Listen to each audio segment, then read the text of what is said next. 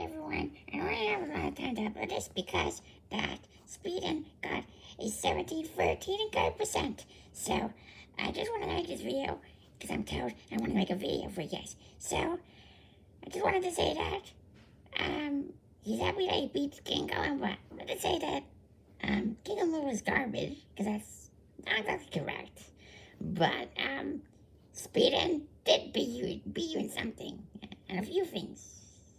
That's it, I have anything to say for that. Um, goodbye. And good luck to anyone who wants to beat him. Because he's going to only do this soon. I don't know when. Goodbye.